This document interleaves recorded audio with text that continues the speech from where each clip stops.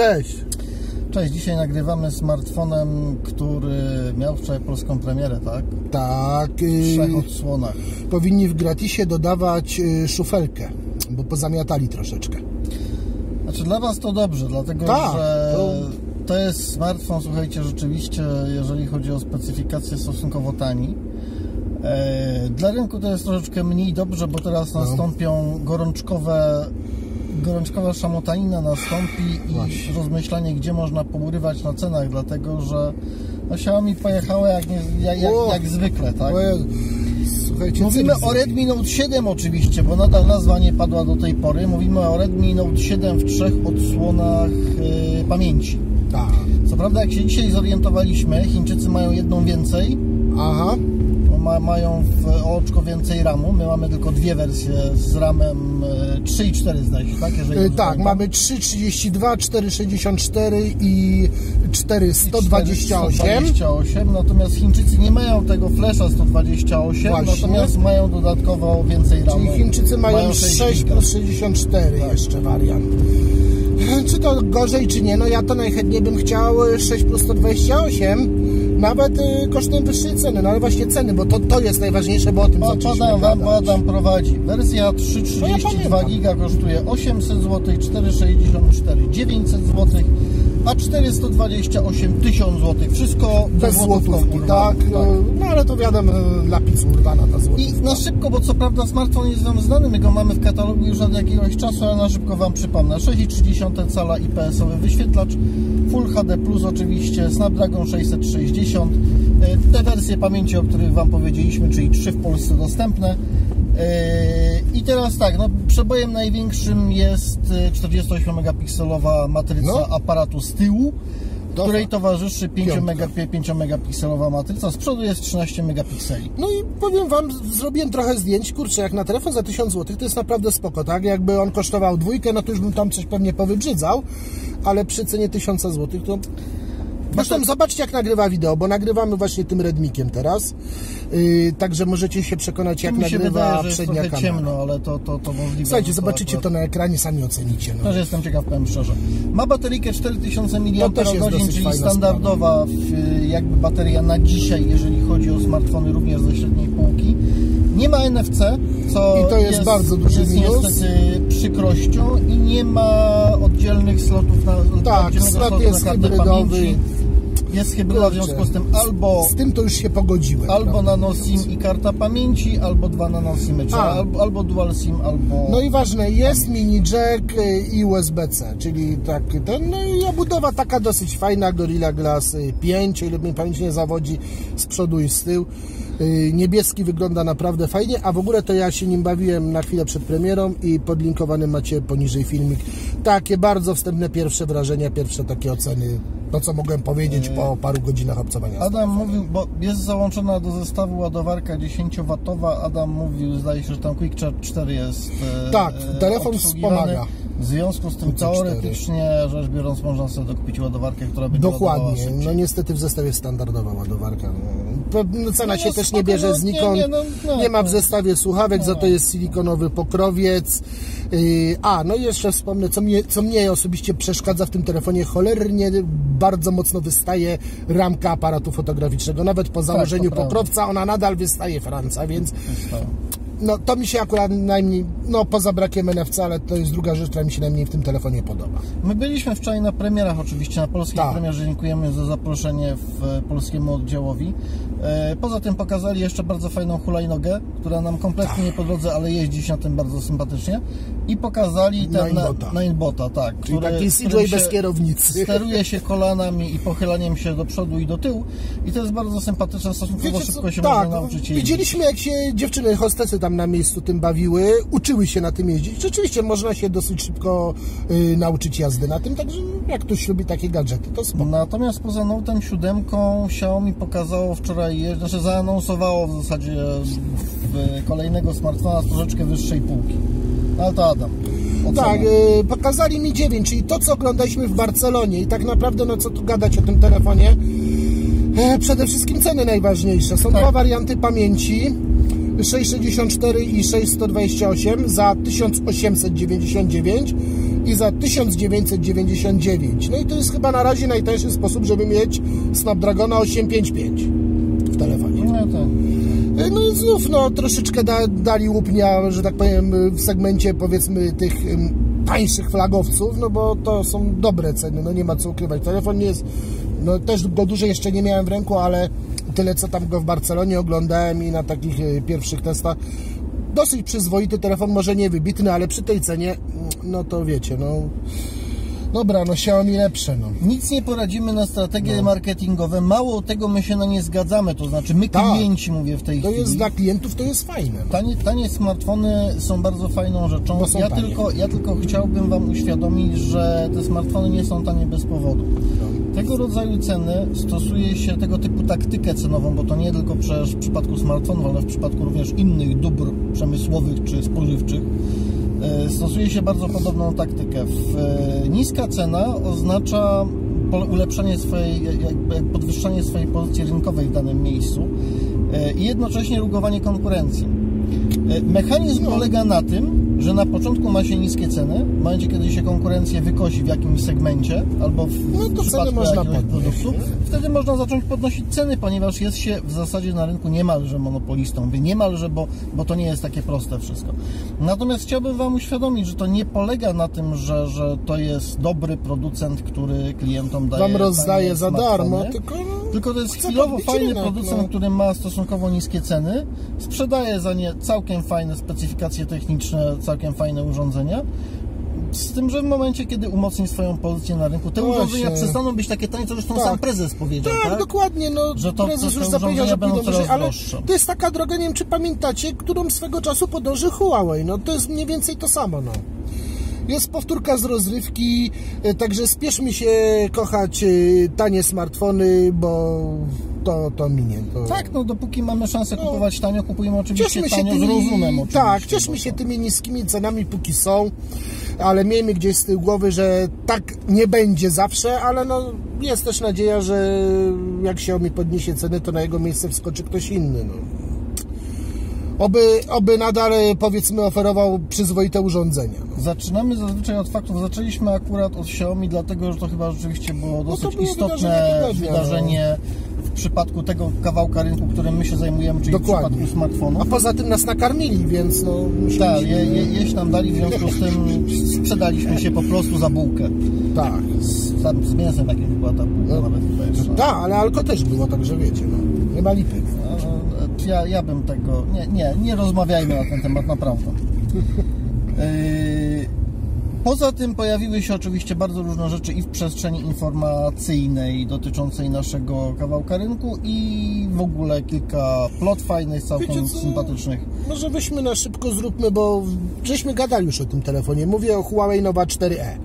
Już jest oficjalnie na stronie Huawei ogłoszony, ale żeby było zabawnie, to może być też P30 Lite yy, i może być to też jako Honor, bo pojawił się Honor w przeciekach o na razie identycznej specyfikacji, bardzo zbliżonym wyglądzie. Poprawny telefon średniej klasy, 6,15 cala Full HD Kirin y, 710, 4,6 GB RAMu, y, 128 GB pamięci bez względu na wersję RAMu, aparaty 24 z jasnym obiektywem 1.8, 8-megowy aparat szerokokątny i dwójka do rozmywania tła z przodu 32 mega, bateria 3, 340, no i ceny przeliczając z juanów y, 1130 i 1300. I jedziemy dalej. Chętnie Wam opowiemy również o tym, co wiemy do tej pory na temat P30 Właśnie. P30 Pro, tylko To jest- może na końcu, bo to nadal nie są informacje. Tak, to jedźmy faktami może, nie? Yy, masz Samsung Galaxy M30, który O. się pojawił dzisiaj w Indiach, w związku z tym nie do końca mamy w, do niego dostęp z wyświetlaczem Super AMOLED, z y, rozdzielczością Full HD Plus i z Exynosem 7904. Dwie wersje pamięci, jedna 464, druga 628. Bateria jest bardzo fajna, bo jest 5000 mAh. O, no, I to, to jest całkiem sympatyczne 15W ładowanie. Yy, aparaty fotograficzne z tyłu 3, no sensowne zresztą według mnie, to jest 24, 8 plus 2. kurczę, znowu przodu to dwójki. 32 megapiksele, pakują dwójki, bo po prostu Ile mają tych dwójek musiało, słuchajcie, zostać w magazynach? Wszyscy Huawei wsadził dwójkę. Kurczę, Xiaomi dobra, piątki kładzie. Teraz Samsung też dwójki kładzie. Jezu, ile im tych małych matryc zostało? Musieli Tak, tego macie, dużo natłuc. macie jeden aparat fotograficzny dla ozdoby po prostu. No, do, dokładnie, bo to Samsungu. mówi się, że to rozmywanie tła to jest takie... Natomiast nie powiemy Wam nic na temat cen, dlatego że No nie co znamy. dziwne, na stronie Samsunga tej indyjskiej, na której pojawiły się informacje na temat em, M30, jest również informacja, na którą po raz pierwszy się natknąłem na stronie Samsunga, mianowicie Not for Sale. Tam, gdzie zazwyczaj jest e, link do sprzedaży, do, do, do sklepu, tam było Not for Sale. Może dadzą za darmo? Słuchaj, może... Nie, Okej, a może jest bezcenny, po prostu nikomu nie, nie prawdopodobnie, wiesz, zaślepkę taką wstawili, a że nie mieli innej, to dali taką. No. E, Dwa, pojawiły się dwa zenfony. Co prawda O, niestety to są zenfony tak. dla nas takie średnio interesujące, dlatego że one się pojawiły w Brazylii i prawdopodobnie nie wyczołgają się spoza tę Brazylię, Amerykę Środkową, ewentualnie może gdzieś w Stanach, ale nie, Nie, sądzę. Asus w Stanach. Nie, nie, nie, nie trafią prawdopodobnie do Europy, a jeżeli trafią, to nie mamy po prostu takich informacji. Byłoby dosyć dziwne, gdyby do nas Ale warto na nie zwrócić uwagę ze względu na zastosowane układy. Jeden się nazywa Max Shot, drugi się nazywa Max Plus M2. Oba są oparte na takim Snapdragonie, który wygląda na nowy procesor, tak? Bo w, on, on tam się nazywa Snapdragon SIP1. Natomiast globalnie rzecz biorąc, te, w- ta, ta, ta, rodzina Snapdragonów jest oparta. To jest podobny recycling jak w przypadku aparatów fotograficznych 2 megapikselowych, ponieważ ta rodzina procesorów jest oparta na Snapdragonie 400. W związku z tym macie zagadki rozwiązane, gdybyście się zastanawiali, co to są za prace procesory, to są 400 wpakowane po Chyba prostu, 425 dokładnie, ale... No w, w, Mniej więcej, no, rodzina, rodzina 400 jest 400 dosyć duża, tam jest 1 i Tak. 8, 8 rdzeni zdaje się, łatwo sobie znaleźć. Natomiast nie jeden pasuje pod Różni się to tym, że tam zintegrowano więcej układów na tym i po prostu ta, ta kość jest mniejsza. Dzięki temu zajmuje mniej miejsca na płycie głównej i tak dalej. Niemniej, niemniej są to kości po taniości. Tak to, tak to dokładnie wygląda, w związku z tym nie ma czego Brazylijczykom zazdrościć. Czym one się różnią? Różnią się, słuchajcie, ilością pamięci, bo właściwie to są identyczne Tak. niemal identyczne konstrukcje. Różnią się ilością pamięci, dlatego że w e, Plus M2 jest dostępny w wersji 3.32 wyłącznie i on jest tańszy. Natomiast MaxShot jest dostępny w dwóch wersjach e, 3.32 i 4.64 i ma jeden dodatkowy aparat, bo o ile w Plusie M2 jest tylko 12 plus 5 z tyłu, 8 z przodu, o tyle w e, MaxShocie jest z tyłu 12, 5 plus 8. Ten 8 się szerokokątny. I z przodu jest też 8. I właściwie to są jedne różnice. No są, są oczywiście różnice w cenie przez to. No tak, Dlatego, no że Adam przeliczał z reali plus M2 kosztuje 1200, no 1300 załóżmy złotych. Yy, Natomiast MaxShot w zależności od wersji pamięci, czy to jest ta lepsza, czy gorsza, 1350 albo 1700. Różnica jakaś, jakaś całkiem spora, powiem szczerze. No, no taka trochę egzotyka te I telefony. to, I to na zasadzie ciekawostki, że Asus próbuje, próbuje zdobywać po raz kolejny Amerykę Południową, bo to nie jest pierwsza, pierwsza próba. Asus e, regularnie wypuszcza tam no, jakieś derywacje niektórych swoich serii. Te smartfony tam się pojawiają w sprzedaży w takiej konfiguracji, w jakiej mają szansę właśnie na, na tę sprzedaż. Do nas raczej nie trafią. Od ciekawostki. Dzisiaj trafiła do nas informacja, że certyfikację CE, czy, czyli tą dostępną na rynku europejskim certyfikację bezpieczeństwa dostał Huawei Mate X. No co prawda nie mówi nam, że jutro zacznie być sprzedawany, natomiast mówi, po pierwsze zacznie, mówi no. Chińczykom, że z Huawei, że mogą rozpocząć produkcję masową na rynek europejski. Po drugie mówi rzeczywiście, że na rynku europejskim ten smartfon się pojawi. Po trzecie, jeżeli certyfikację otrzymał, no to jednocześnie mówi o tym, że pewne jego części są bezpieczne do użytkowania. W związku z tym właściwie można przyjąć, że mamy już gotową wersję tego smartfona, któ- którego produkcja po prostu zostanie uruchomiona. Także nie pchajcie się po kolei, wystarczy dla wszystkich. Spokojnie. Jeżeli ktoś ma na zbyciu te 10-12 tysięcy, to w zasadzie może się cieszyć, bo już niedługo będzie mógł Tak, kupić. no, możecie, akurat zdążycie sprzedać samochód i do tego czasu powinien się pojawić sprzedaż. Oppo Reno to jest taki smartfonik przygotowywany przez Oppo w, do sprzedaży. On ma zacięcie do specyfikacji Flagowy. flagowej, całkiem fajnej, bo w- Chińczycy zdecydowali się tutaj na instalację Snapdragona 855.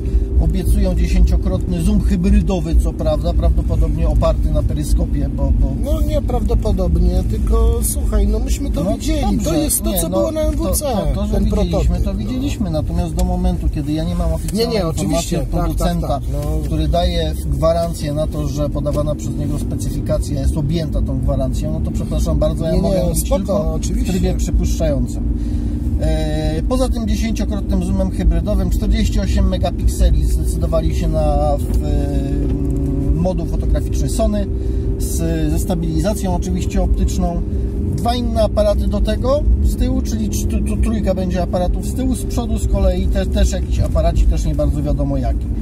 50W ładowanie ma być, w związku z tym to jest jedno z tych y, najmocniejszych. To Oppo ma swój własny standard, pamiętacie to się VOOC nazywa, plus jakiś przedrostek, tam Super VOOC, czy ja- jakoś jeszcze inaczej, bo to jest drugi rodzaj standardu, który od pewnego, jak, y, od pewnej mocy funkcjonuje. No i to właściwie tak. Adam wynalazł ceny. Ceny wynalazł dla aż sześciu różnych Tak. wersji. Zasadzie pierwsze- ceny są prawdziwe, bo dodajmy, że to się pojawiło na profilu y, Oppo Reno w serwisie Weibo, więc to nie jest jakaś ceny, tam ceny, ceny, nie? tak, znaczy ceny są prawdziwe pod warunkiem, że będziecie pamiętali, że ceny są prawdziwe po chińsku, natomiast po polsku nie są prawdziwe, tylko są na żywca przeliczane. Jeżeli chcecie cenę polską, doliczcie sobie do tego 25%, załóżmy pi razy oko, dołóżcie stówę i tak będziecie mieli cenę polską mniej więcej. Yy, I teraz w zależności od wersji pamięci 8 GB RAMu, 256 GB flasha, 2830 zł. 10 GB pamięci RAM, 256 GB flasha, 320. 12 GB RAMu, 256 GB flasha, blisko 4000, tam 3- 3970 wychodzi. I teraz tak, jest Lamborghini Edition, Lamborghini Edition, przepraszam, Jest. e, która jest w wersji 12, 200, 512, czyli ta najwyższa, ale doda dodatki tematyczne, w związku z tym obudowa inaczej wygląda, stylizacja i jest droższe, słuchajcie, od tej samej wersji w no niemalże półtora tysiąca, bo to jest 5700, ja tak, tak na szybko liczę, jak możecie mnie poprawiać oczywiście. Jest poza tym jeszcze Light Deluxe Edition 828 GB za 200 i Light Deluxe Edition 8256 GB za 2270. No rano, zmęczyłem się tymi cenami, powiem szczerze. Namieszali, ale no pytanie, czy te wszystkie wersje faktycznie będą później of oficjalnie już w sprzedaży, bo Znaczy jest to, jest to taka jedna z takich, tak, że Tak. o zobaczcie, wszyscy macie niesamowitego flagowca, na którego I sobie możecie pozwolić. Ci, ci, którzy mają duże pieniądze, sobie pozwolą na tego flagowca z ładnymi ozdobniczkami i z dużą pamięcią, a ci, to mają mniejsze, będą mieli mniej pamięci bez ozdobniczki. No tak to mniej więcej wygląda. mnie ten Light Deluxe zastanawia, kurczę, no to taki co luksusowy Light będzie, no tak No, wygląda, nie? Wiesz co, ja podejrzewam, że to rzucą Patrząc no, obudowę, Tak, będzie właśnie, nie wiem, wzorek albo gradient, albo No. coś. W zasadzie za to zapłacimy. Pojawiła się również dzisiaj informacja i to też w zasadzie informacja oficjalna o tym, że za moment będzie dostępny Galaxy A2 Core. Co prawda u nas też raczej go nie zobaczymy, albo zobaczymy go w bardzo niewielkich ilościach. Głównie dlatego, że Samsung przygotowuje go na rynki nazwijmy Afryki i Indii. Się na Bardzo razie, tam budżetowa rzecz, bardzo budżetowo wygląda. Jak chcielibyście wiedzieć mniej więcej jak wygląda design, co prawda tam jest inny układ aparatów, nie nieco inne ramki, ale możecie zobaczyć tak naprawdę J2, J2 Core, jak zobaczycie w katalogu i będziecie mieli mniej więcej pojęcie jak A2 Core wygląda. Nie ma A zresztą zdjęcia Adam dzisiaj w newsie Tak, wrzucił, jest, bo Iwan Blas zdjęcie. pokazał To zdjęcie. render. No to, no, można powiedzieć, na render, re, obrobione mocno zdjęcie, ale nie ma co oglądać. No. I na sam koniec sobie zostawiłem, Adam pewnie jeszcze ma jakieś ciekawostki. Znaczy się, wiecie co, widzę- no to tak na szybko, bardzo na szybko. Yy, Motor, Motorola, Motorola, Motorola, Motorola Razr powraca, czyli ta kultowa klapka, tylko teraz będzie miała ekran oczywiście elastyczny w środku. No. Yy, no, trochę danych się pojawiło. XDA Developers wygrzebali trochę danych, tylko pozwólcie, że ja dojadę do skrzyżowania, bo muszę je przeczytać, bo nie mam w głowie. Yy, Ten główny ekran wewnątrz będzie taki mocno rozciągnięty, długi będzie po prostu po otwarciu klapki. Około 6,2 cala, rozdzielczość 876 na 2142 piksele, co daje, że tak powiem, pojęcie Wam już o proporcjach jakieś 22 do 9, tak mniej więcej na szybko To licząc. lepiej niż w Sony. Tak, natomiast zewnętrzny ekran będzie na pewno pomocniczy, bo ma rozdzielczość, słuchajcie, tylko 800 na 600. Więc to będzie taki ekranik pewnie do powiadomień, do odebrania połączenia, żeby nie otwierać za każdym razem tego telefonu. I podobno, podobno ten ekranik ma być też touchpadem w momencie, kiedy otworzymy klapkę, sobie będziemy mogli ją od tyłu pomiziać Miziać sobie i sobie na przykład przewijać strony. No Zobaczcie do czego to doszło. Fajna rzecz, 800 na 600. Dawniej się pracowało na 200, 320 na 240 albo odwrotnie. To jest 800 na 600 do powiadomień. No i co ważne, yy, wiadomo już prawdopodobnie jaki będzie procesor Snapdragon 710 i to nie będzie flagowiec, to będzie taki bardziej średniak, chyba taki trochę bardziej designerski telefon. No, I tak jak przyłożą ceną, to się nie pozbieracie. no i pamięci 464, 6 plus 128 i ciekawostka, baterie podają tylko tylko 2730. No tak Czyli albo ja podejrzewam, że podali pojemność jednego ogniwa. Będą dwa, w jednej części klapki i w drugiej, tak jak jest na przykład w, w Samsungu Fold. Mam nadzieję, bo w przeciwnym razie to Zamiast- oznacza, że ładujecie ten telefon kilka Zamiast razy dziennie. brzytwy będziecie mieli pudernicę po prostu, taką fajną klamszela. Nie no, ale w sumie może jak, wiecie, no Razer był genialnym telefonem na swoje czasy. Ale Razer był cieniutki. Pod względem designu oczywiście, Był świetnie bo- zrobiony, ponieważ miał bardzo fajną specyfikację techniczną i był Ja wiem, czy design fajny był po prostu Aparat genialny. VGA, a tutaj, a to menu też będzie, takie było. Tutaj będzie to bardzo dyskusyjne tak naprawdę. Dobra, zobaczymy co z tego Motorola zrobi, na pewno tanio nie będzie. Nie, nie, nie. nie. No a teraz opowiadaj, bo domyślam się, że chciałeś o P30. Znaczy ja, ja, ja mam tylko P30 jeszcze, także jeżeli masz coś jeszcze, Nie, to... wiesz co, kronikarsko wszedł na polski rynek e, Tepanik Nefos C5 Plus z Po, po, Androidem to, Go. ale co ja po raz trzeci nie wszedł, bo ja tą informację prasową dostaję najmniej drugi raz tak naprawdę. Tak, wiesz co, ja, nie, ja po prostu jest tego no tyle, że jest, w ja dostałem, przeczytałem 279 zł albo 319 z pamięcią 1 plus 8 albo 1 plus 16. Yy, no, smartfon na wroga. E, Tak. po, po, pozbierałem informacje w, o, No. tych, o w, e, P30 i to nadal nie jest specyfikacja pewna, ale najpewniejsza jaką w tej chwili można znaleźć w sieci, jako że premiera zapasem, o czym pewnie wiecie, bo Huawei chyba wszędzie informuje, na każdym przystanku, na Strach otworzyć lodówkę. obej, trochę strach otworzyć lodówkę.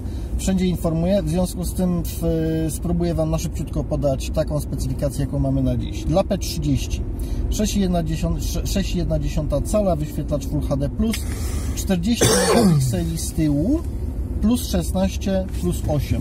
To 40 megapikseli z przysłoną y, 1 i 8. Z przodu 32 megapiksele, Wersja pamięci, o której wiemy, to jest 6 plus 128, bo taka pojawiła się w dokumentacjach. Bateryjka 1650 mAh Supercharge. Nano Memory niestety, standard, który jest e, promowany, wymyślony i promowany przez Huawei, w, także będzie można dołożyć kartę pamięci, o ile się dostanie nową kartę pamięci. Bluetooth 5.0, Wi-Fi również 5 GHz, bo, bo to jest dosyć istotne. FC to jest oczywiste, dwie wersje single dual SIM, podejrzewam, że na polski rynek przede wszystkim trafią dual nie? SIMy. USB-C i prawdopodobnie, bo nie jest to nic pewnego, IP68, które pojawi się również we flagowcu. No, zobaczymy. nie, nie, nie, To- miało- miało to ostrożny. być. Mhm. Miało, ale zobaczymy. Mówię. To, to, to Taka ciekawostka się wtrącę, bo ten yy, Blister z Berlina, Roland, yy, którego serdecznie pozdrawiamy, podał, yy, rzucił zdjątka tych telefonów, górę i dół. Ciekawostka, przede wszystkim mają bardzo płasko ścięte yy, górne i dolne ścianki, ale będą się różnić. P30 ma mini jacka, P30 Pro nie ma. Za to P30 Pro ma nadajnik podczerwieni i tym jeszcze dodatkowo się te telefony mają różnić. To znaczy, no, Od taka w takiej duperela, ale... W warstwie wizualnej jest jeszcze oczywiście w P30 Pro kamerka w Time of No Flight. tak, i ekran w zagięty, tak? module jest ekran troszeczkę inny, natomiast tak, no, globalnie rzecz biorąc tak, brakuje jeszcze, ciekawe flagowcu, to Właśnie, jest... jeszcze coś mi się przypomniało. No dawaj. Jeszcze y, P30 Pro będzie miało głośnik ekranowy, czyli ten ekran będzie głośnikiem po prostu, nie będzie głośniczka takiego tradycyjnego, dzięki Słuchajcie, czemu będzie węższa że- ramka. Tym, że tutaj też, też miejcie świadomość, że To to jest jest... to Unofficial, tak? To, to jest nieoficjalne, to jest e, wydumane z renderów, gdzie po prostu nie widać głośniczka. No. Ja już widziałem smartfony również Huawei, gdzie ten głośniczek był zupełnie inaczej umocowany i jednak był. Dlatego podchodźcie ostrożnie do Nie, tego nie, nie, no głośnika wyświetlacza. słuchajcie. Zobaczymy, jak będzie, to wtedy Wam o tym na pewno Właśnie, powiem. nie, słuchajcie, cały czas to są informacje nieoficjalne, pamiętajcie o tym, bo nie przywiązujcie się do nich Tak, jakoś z tam tym, że o strasznie. ile, o ile informacje dotyczące na przykład procesora, tego, że będzie najlepszy dostępny w tej chwili w Huawei, tak, że że o ile informacje dotyczące przekątnych wyświetlacza, Tak, nawet, no to- nawet wa, wa, wa, w wersji pamięci są niemalże pewne, bo są certyfikatorzy, którzy podają takie rzeczy. O tyle w kwestii ekranu, który jest jednocześnie głośnikiem, No jest to informacja no, prawdopodobna, ale niepewna, ponieważ mówię, jest to po prostu interpretacja tego, jak wyglądają rendery, a nie jakaś wiedza skąd, że tak rzeczywiście jest z jakiegoś przecieku. E, Dobra, e, podam Wam teraz e, tyle, ile wiemy na temat P30 Pro. Wyświetlacz 6,47 cala, czyli większy od poprzednika.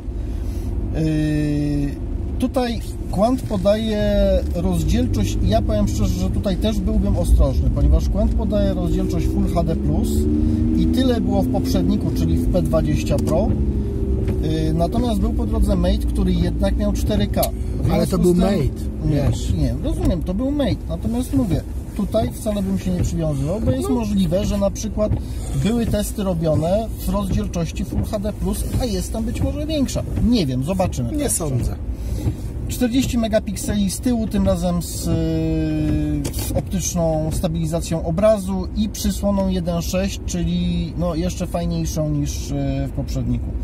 Yy, Do tego 20 megapikseli plus, plus do tego 8 megapikselowy per, peryskop. To 8 megapikseli dziwnie wygląda, ja wiem ale ma to być obiektyw tele, który, który rzeczywiście z tą matrycą ma głównie, tak. głównie służyć, wspomagać Ale powiększenie. on będzie, tak, to będzie które- zoom hybrydowy, więc tam jeszcze oprogramowanie będzie do tego dorabiać, bo... To znaczy tak, do tej pory w Mate na przykład jest tak, że jest hybrydowy zoom pięciokrotny, czyli trzykrotny można zrobić bezstratny na zasadzie optyki, natomiast pięciokrotny jest hybrydowy i zdjęcia bardzo fajnie zresztą nim, w nim wychodzą. Tutaj podciągną ten bezstratny prawdopodobnie do jakiejś wartości, plus do tego dodadzą hybrydę, czyli, czyli jednak obróbkę software'ową yy, z, dodatkowym, z dodatkowym obiektywem, która będzie miała z tego wyciągnąć zoom dziesięciokrotny. Tak to będzie wyglądało. W obu, ja nie powiedziałem, ale w obu oczywiście Kirin 980, bo po drodze Huawei nie ogłosił żadnego innego procesora nowszego, w związku z tym jest duża szansa, że tam będzie właśnie to. Yy, Plus oczywiście czwarta kamerka z tyłu jest w wersji Pro, ta właśnie Time of Flight, która mam nadzieję, że będzie służyła bardzo fajnym rzeczom software'owym, bo jeżeli obejrzycie oficjalny teaser P30 Pro, no to tam się dzieją rzeczywiście dziwne rzeczy. Mam nadzieję, że to się przełoży na, rzeczywiście, na rzeczywiste możliwości smartfona i dostaniemy fajne jakieś opcje do zabawy. A pamiętasz jak było ze skanowaniem pandy? Ale ze skanowaniem pandy to, to była pomyłka technologiczna głównie ze względu na to, że kamerka Time of Flight była umieszczona z przodu. No. Zrobienie, zrobienie kamerki takiej z przodu, a później skanowanie obiektu, kiedy ma się wyświetlacz odwrócony od Okej, siebie, okej. no jest średnio No, możliwe. Nie nie wiem, kto mało wygodne, to nie? nie, nie był dobry pomysł. Natomiast no, ja mówię o tym, że no, na teaserach, na zapowiedziach, na filmach promocyjnych to wyglądało tak, że wow i w ogóle, a rzeczywistość Znaczy, jak, jaka będzie inaczej. tego jakość, to zobaczymy. A ja mówię, właśnie, nie no. mówię tylko, co jest zapowiadane, a Tak, co będzie. no, Tak? zapowiedzi zawsze są fajne, nie? Ja, ja, ja tylko mówię o tym, co jest zapowiadane tej nie. chwili, bo nie, nie wiem Nie, niczego no innego. mówię, no, ale będziesz miał okazję się przekonać, to na pewno o tym opowiesz. nie? Yy, Karty również yy, nano memory. W- Wiemy, że 8 GB RAMu na pewno. Na pewno wersję pamięci 128, 256, 512, Mhm. przynajmniej na początek. Czy Huawei zdecyduje się na terabajtową? Zobaczymy. Na razie jest jeden smartfon Chyba w który, prędzej. który ma terabajt i ja też podejrzewam, że jednak poczekają Oni do to Mate'a zostawią na terabajt. Mate'a. Albo, albo, albo zrobimy znowu, słuchaj, w e, Porsche Design i, Al, o, o, i będzie jeden terabajt. ty, czekaj, tak? czekaj, Dlatego czekaj, czekaj, mówię. ale P, P seria P miała Porsche? Czy to też było tylko z Mate'ami robione? Nie, wydaje mi się, że seria P miała Porsche. Wiesz co, ja nie pamiętam. P20 mi się zdaje, że miała Porsche. Nie wiem, ja Huawei dawno na oczy nie widziałem, Głównie, także ciężko mi się dlatego, wypowiadać. że tam ale... był ten, ten w, y, czytnik kart pamięci, Mhm. który, który było mi przykro, bo przenieśli mi naprzód z tyłu. Natomiast Porsche Design miał i z przodu i z tyłu czytnik. E, nie czytnik kart pamięci, tylko y, odcisku Palec. palca, tak, linii papilarnych. Porsche Design miał dwa czytniki linii papilarnych, bo jeden miał z Tak? przodu, drugi miał z tyłu. No to tak. ciekawostka. To cię pierą. Yy, 4200 bateryjka mAh, 40W zasilacz, Bluetooth oczywiście 5.0, Wi-Fi 5 GHz, NFC, również wersję single dual SIM, u nas dual, USB-C i też yy, IP68, czyli, czyli w taki odporny Nie, no to fajnie, po, po, bo ja nie pamiętam, a poprzednie miały wodostrzelność? Wiesz co, ja też nie pamiętam w tej chwili. Zdaje mi się, że... Nie, nie, Chyba nie, nie, nie nie nie? chcę w tej chwili strzelać, bo nie pamiętam zwyczajnie. Znaczy mnie się wielokrotnie zdarzyło pomoczyć i w e, P20 Pro i Mate'a 20 Pro, ale nie polecam Wam oczywiście moczenia jakiegokolwiek smartfona, nawet jeżeli ma te odporności, dlatego, że wypadki chodzą po ludziach i się po prostu zdarzają. Nie warto sobie Mhm. psuć smartfona. Ale nie pamiętam, czy miałem, powiem szczerze. No ja też nie Nie, pamiętam. nie sprawdziłem, jakoś to traktuję tak obok w związku Nie, właśnie, a widzisz, że na przykład dla mnie to jest dosyć istotne, bo ja sobie na przykład y, lubię w wannie y, poczytać. Nie, i- ja staram, staram się nie moczyć smartfona żadnego, również Właśnie- łącznie z tymi, które mają IP Właśnie bardzo to, tego mi wysokie. brakuje w tych, y, w tych y, flagowych Xiaomi, że, że jeszcze nie zrobili wodoszczelniaka. No. Po pierwsze, y, tej wodoszczelności nie ma nigdzie uwzględnionej w y, Gwarancji. gwarancji, w No to związku z tym to- to- za każdym razem nam serwis może powiedzieć, że to jest Tak, użytkownika, bo został uszkodzony mechanicznie, najpierw rozszczelnił się, a dopiero No później właśnie. przeciekł. E, I to naprawdę jest, posłuchajcie, po prostu niewarte. Fajnie oczywiście, że smartfony mają, bo ja to jest- rozumiem, że są To lepiej jest opcja zabezpieczone. na wszelki ale... wypadek, a nie po to, żebyście sobie nurkowali z telefonami. Tak, nie łudźcie się tym, że to zadziała Tak. w momencie, kiedy się Wam No to jest na wypadek, jakby wam wpadł w kałużę, albo by was ulewa złapała z telefonem w ręku. I to właściwie tyle, ile ja mam Tak. na dzisiaj. To znaczy, mogę jeszcze oczywiście wspomnieć, była polska celebracja w e, Matebooków, jeżeli chodzi o Huawei. Byłem na premierze, dziękuję bardzo za zaproszenie. Świetne urządzenia, warto się zainteresować. Jest jedna fajna rzecz, bo Huawei zapowiedział w tym wszystkim, że w ciągu trzech lat podbije e, rynek laptopów. Jestem ciekaw, co im z tego wyjdzie. Trzymam kciuki, bo te ostatnie są po prostu fajne. No nic nie poradzę, kurde, to są fajne urządzenia. A troszeczkę chyba tańsze od Apple'a na przykład. Mhm. Nie, nie mówiąc o serii X, bo seria X jest droga paskudnie po prostu. Poczekaj jak... Wiecie, poczekaj jak Xiaomi zacznie te swoje laptopy promować cenowo. Jak oni przywalą ceny, to będą niezłe jaja. No to niech przywalają, bo No. ja, ja bym chętnie sobie, powiem Prawda? szczerze, sprawił nowy, nowy służbowy laptop, w którym mógłbym jeździć lekki.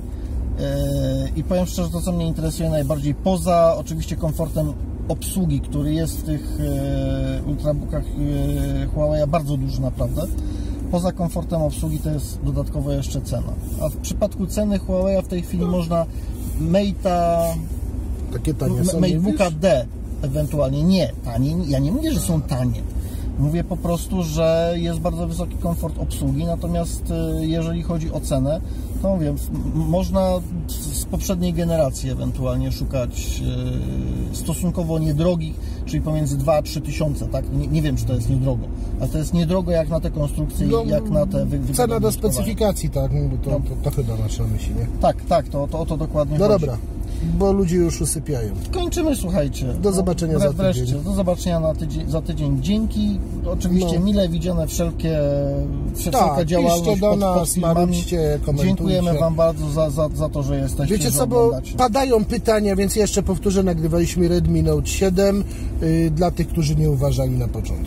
A ja Kaczorka przepraszam za to, że nie było po prostu w tym tygodniu czasu, żeby się odezwać i udzielić porady, ale na pewno A ja tak trochę zbyłem, bo akurat byłem w drodze na wczorajszą premierę, ale to Jesteśmy w sporych od serca rada po prostu. Jesteśmy w sporych rozjazdach i po prostu w przyszłym tygodniu też ja akurat będę miał rozjazdy właściwie niemalże każdego A ja mam potąd roboty z recenzjami, nie wiem kiedy się wyrobię, ale no. Staramy Bądźcie się cierpliwi, tylko- bądźcie Ty- cierpliwi, Tylko po dwie ręce mamy, słuchajcie, No. naprawdę i po jednej głowie niestety, przydałoby się więcej. Cześć. Cześć, cześć. Miłego weekendu.